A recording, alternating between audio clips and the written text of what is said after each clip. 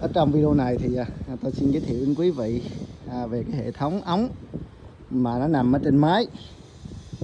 Nó được thi công thế nào để cho nó bảo đảm bền lâu thì đầu tiên nó là cái ống à, nó cấp lên cái bồn nước à, lạnh nè. À, thì bây giờ thì thị trường thường hay dùng cái ống BBR luôn cái ống ống, ống, ống chịu nhiệt này nó, nó, nó hoàn nhiệt nó, nó tốt hơn và nó chịu được sức nóng của nước nó bền lâu nên là bây giờ thật ra nó cũng không chênh lệch so với cái ống ờ, cái ống PVC này bao nhiêu. Nên là bây giờ anh chủ đầu tư hay đầu tư luôn sử dụng cái loại ống này. Thay cho cái ống này. Ống này là ống PVC à, cũng là bình minh thôi. Này cũng bình minh này cũng bình minh. Này bình minh nè. Đó, bình minh. Ống này cũng đó, bờ mờ bình minh thì à, cái ống xả thôi. Này là ống xả thì chúng ta sử dụng à, ống xả bồn để vệ sinh đó. thì chúng ta sử dụng cái ống PVC này thôi. Còn cái ống mà sử dụng lâu đời cho à, nước cấp nè nước lạnh nước nóng này thì chúng ta sử dụng hết cái ống BVR này.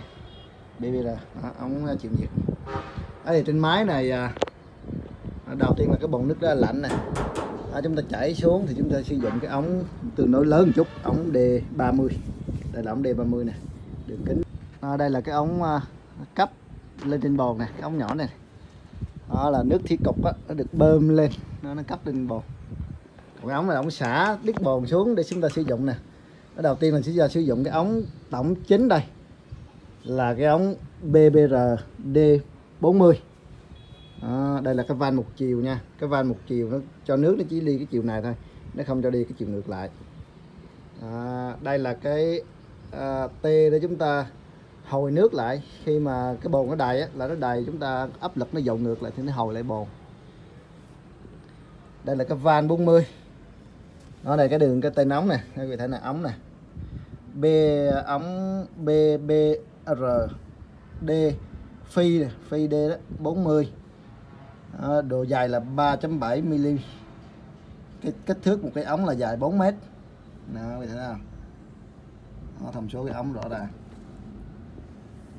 Đó ống này BBR D40 dài 3.7 mm nó rất là dài ống D40 đây là cái ống trục chính nó trục chính này thế nè. Đó. còn cái ống xả này thôi thì chúng ta sử dụng cái ống BBRC thôi. BBC là ống nhựa bình minh bình thường á. Xưa chúng ta dùng loại này. Giờ thì chúng ta đổi qua cái loại này nó cũng hơn không bao nhiêu tiền đâu. Ờ, không chi phí thì không đáng kể nhưng mà nó bền lâu và nó sử dụng lâu đời cho căn nhà. Áp lực nó cũng mạnh. Đó, chúng ta tăng cái tiết diện ống lên để áp lực nó mạnh thôi. Ống này ống D ống trục chính là D40 Đó. thì cái ống này nè cái ống này nè. Cái ống này thì chúng cấp vô trong cái bồn nước nóng. Nó thì thấy không? Đây là công cấp vô nước nóng này. À, nóng là một chơi đây tăng á đại thành. Nè, tăng á đại thành à, giữ nhiệt à, 96 giờ. Hấp thụ nhiệt 98 phần trăm. Ống thủy tinh chân không 5 lớp. À, à, cái thông số của nó thôi.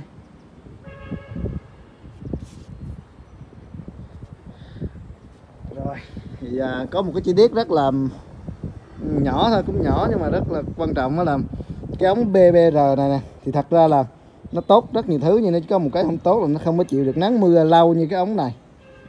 Cái ống PVC hồi xưa này thật ra nó là chịu chắn nắng mưa tốt hơn là cái ống BBR nên là chúng ta bọc cái ống à, BBR vào trong cái ống PVC này. Đó, để cho nó à, ống PVC nó, nó che bớt nắng mưa. Nó nó bền lâu hơn ở trên này thì cũng không bao nhiêu ống nó chỉ cần à, một cái ống nó bọc thì à, tốn thêm một cái ống bự hơn PVC thôi. Mà chúng ta đổi lại là cái nhà mình nó bền bỉ. Đó, trong video này thì tôi giới thiệu à, sơ bộ về cái hệ thống ống ở trên máy với lại nó có cái chi tiết là bọc cái ống PVC bên ngoài cái ống BBR này.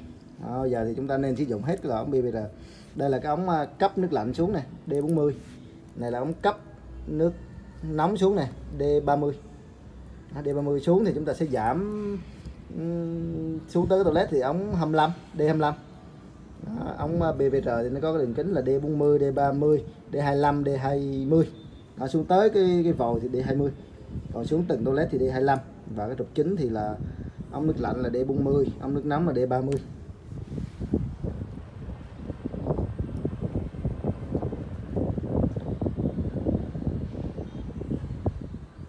cái này là cái ô giếng trời thôi. Những ô giếng trời chúng ta làm như thế này nè. Để vừa lấy gió vừa lấy sáng mà nước mưa nó không có tạt vô trong nhà thôi. Đó, chúng ta lợp tấm uh, à, kính cường lực và chúng ta lặn xuống cái bề này nè. Để chúng ta nó nước mưa nó không có tạt ngang vô được mà gió nó lòn vô căn nhà rất là thoáng.